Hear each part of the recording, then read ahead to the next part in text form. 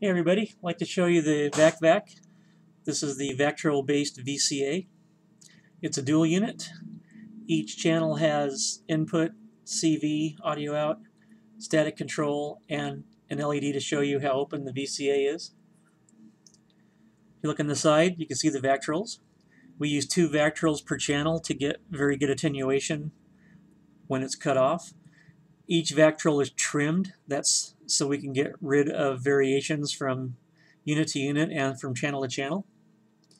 Each channel also has a jumper to select 5 volt or 10 volt for maximum open. Also each channel is slightly negatively biased so that if your envelope generator doesn't go quite to zero, the VCA will still close. Because we're using Vactrols, it's a very musical sounding VCA instead of the snap on and snap off you get with semiconductor VCAs.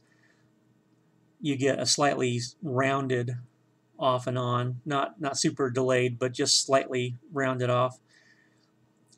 That way you get a soft open and a soft close, which makes this very musical, very handy for doing percussion sounds.